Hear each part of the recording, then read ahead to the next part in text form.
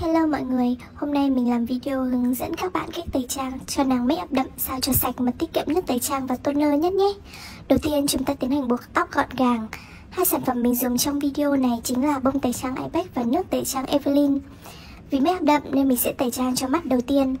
Với phần mắt, mình lấy hai miếng bông tẩy trang Ipex, sau đó gập lại làm đôi để không gây hao phí nước tẩy trang. Sau đó dùng hai miếng bông đắp lên mắt khoảng 10 giây rồi tiến hành xoay tròn miếng bông nhẹ nhàng để làm sạch đi phần mắt, mascara và eyeliner một cách dễ dàng mà không gây tổn thương da vùng mắt.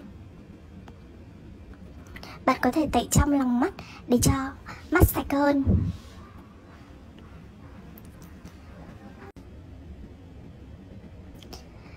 Sau khi tẩy trang vùng mắt thì bạn có thể tận dụng mặt sau của miếng bông để tẩy lông mày luôn nhé. Tuy nhiên nếu bạn nào mà kẻ đậm thì nên dùng thêm bông. Tiếp theo thì mình sẽ tiến hành tẩy trang cho vùng da mặt. Mình lại tiếp tục lấy hai miếng bông gập vào để không gây tốn toner hoặc là nước tẩy trang Sau đấy thì mình tiến hành tẩy trang mình tẩy trang theo chiều từ mũi ra thái dương để tẩy sạch đi lớp trang điểm mà không gây to lỗ chân lông và lão hóa da nhanh. Bạn chú ý chỉ nên tẩy trang theo chiều từ trong ra ngoài, không đi miết đi, không nên miết đi miết lại. Bông tẩy trang trên da để tránh phản tác dụng nhé. Lúc này thì cả hai miếng bông đều bật rồi. Mình bắt đầu lấy một miếng bông mới và tẩy trang lại toàn bộ khuôn mặt. Từ trán, cằm, mắt, mũi, môi. Đừng Đừng quên tẩy trang cả vùng cổ nữa bạn nhé để da mặt và da cổ luôn xinh.